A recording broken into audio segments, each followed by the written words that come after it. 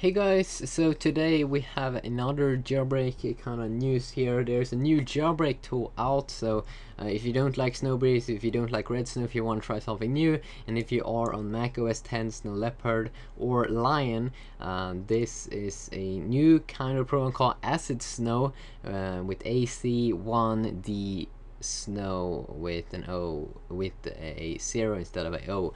Uh, Ac1dSn0w, it's beta 1 right now, and as I said, it's not available for Windows. It's only for is only for Mac users right now at least. Uh, iOS, if toward jailbreak, iOS 5.0.1 and iOS 5.0, iPhone 4, 3GS, iPad, uh, the original iPad and iPod Touch 4th generation supported. And I assume that this also works for iPod Touch 3G uh, though I don't have a Mac computer so I can't try that out. Uh, but when they're saying that it works for the 3GS I suppose it's gonna work for iPod Touch 3G as well.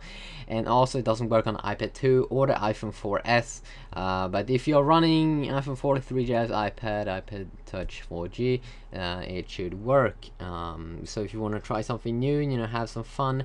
It seems like it's coming with uh, some new features, uh, but you should remember that this is kind of like only for the guys that's kind of crazy and want to try new new stuff out. But like remote jailbreaking, custom firmware creation, iRecovery, yeah, they, they have some, you know, things that you will be able to do that you may not be able to do with redsn0w or Snow Sn0wbreeze, but, you know, for the normal users, they probably won't care that much. But if you want to try this out, I'm gonna leave a link to the Redmond Pie article in the description below, uh, and, uh, you know, very, very simple, you just follow the steps, and then you'll be able to have a jailbreak. And obviously this is not untethered. It's only tethered but today as I made another video about it talking about the Chronic Dev team releasing this new kind of crash reporter tool that hopefully will bring us faster a jailbreak for iOS 5 that's untethered.